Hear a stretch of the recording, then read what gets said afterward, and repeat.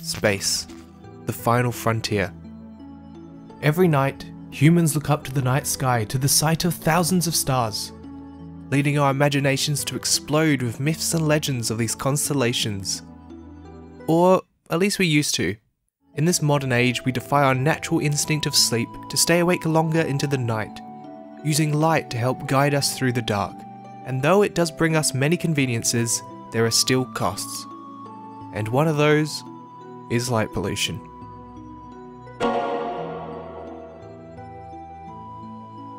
The overuse of street, car, and other unnatural misdirected lights are what creates the issues of light pollution. It washes out starlight in the night sky, interferes with astronomical research, disrupts ecosystems, and even has adverse health effects for our sleep patterns. Though while many small remote towns in many countries get to experience a beautiful night sky, the same can't be said about cities like New York and London, which are engulfed with light pollution. So, let's say you live in a big city but still want to experience a beautiful night sky in the comfort of your home? Well, that's where this comes in the Sega Toys Homestar. In 2005, Sega Toys collaborated with engineer Takayuki Ohira, the engineer behind the planetarium projector Megastar, and created a planetarium for the home. This home planetarium has the capability to cast projections of thousands of stars onto your ceiling, all through the use of projection discs. Since its 2005 inception, the Homestar has gone through many iterations, but today Sega Toys focuses on two main products, the Sega Homestar Original and the Homestar Flux, coming in at 149 and 229 USD respectively. At the $149 mark, the Sega Homestar Original is a more approachable product in terms of its price, Weighing in at 1.21 pounds, this product can project up to 60,000 stars using its 3 watt LED projector light.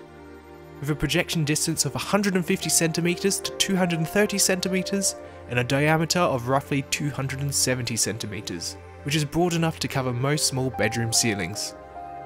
This sturdy plastic device works with small, high definition discs that can be swapped in and out with ease. Two of these discs are included with the product, one depicts the Northern Hemisphere night sky, and its companion disc shows an addition of lines to help you spot those constellations. The only catch is it does require some fine tuning of the focus ring located on the projector, which can often be a nuisance. It's also important to note that the edges of the projection will be softer than the centre, though in many instances this isn't too much of a problem. For an extra $80 comes the Homestar Flux, and the perks of a bigger price tag is evident straight away when comparing the packaging. While the Classic comes in a basic cardboard box, the Flux is housed in a beautiful white packaging with silver designs throughout. When opening the product up, you will find the Flux has a matte finish as opposed to the basic plastic of the original. While these small touches do give the presentation of a more premium product, how do the internals and functions of the Flux differ from the original? Well, the Flux has an increased wattage from 3 to 5 watts for an increased LED projection clarity, allowing even more stars to shine through with a higher quality image. This edition has a projection focal distance of 120 to 290 centimeters, with a diameter of approximately 290 centimeters, just beating out the cheaper original edition. When viewing the projection from the Flux, there is a clear difference visible in terms of its range, focus, and brightness. Ultimately, choosing the right product will come down to personal preference. While the Flux provides a clearer and brighter image, the original has a softer look to it, providing somewhat of a more lifelike experience when it comes to the Northern Hemisphere disc. Though when it comes to the additional discs, the Flux absolutely crushes the original with its beautiful clarity. And speaking of additional discs, they can be bought separately for 29 US dollars each, with options such as a Galaxy disc, the Southern Hemisphere Sky, and a Comet disc just to name a few. Personally, the Northern Hemisphere star map included with the unit and the Southern Hemisphere are definitely my favourites, though the others are still fun additions. Both Homestars include a rotate feature that slowly moves the projection either clockwise or anti-clockwise, a little addition that adds so much to the experience in helping one become entranced. Also included is the ability to see shooting stars pass by, a cool novelty though these shooting stars don't look particularly realistic. And of course, there are the options to switch the device off after a certain amount of time, so you don't have to worry as you fall asleep. That's the technicals of these machines, but what is the actual experience like? If you've ever been to an area not affected by light pollution, and you've been able to see a night sky brimming with stars, you will know it's a view like no other. It takes you out of the now, your mind in awe of all the things that could be out there. The Sega Toys Homestar does an incredible job of replicating that feeling while remaining within the comfort of your home. The feeling of laying in your bed, looking up, entranced as the constellations slowly spin above you. It's an incredible meditative experience, something I do at least once a week before falling asleep.